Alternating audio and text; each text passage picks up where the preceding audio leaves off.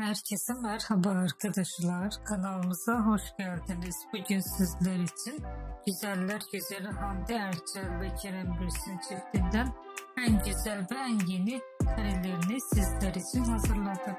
Kerem Bürsin ve Hande Erçel çifti Sen Çal Kapımı dizisinde başrollerde Eda ve Serkan karakterlerine hayat vermiştiler. Herkes gibi biz de onları birbirine yakıştırıyoruz.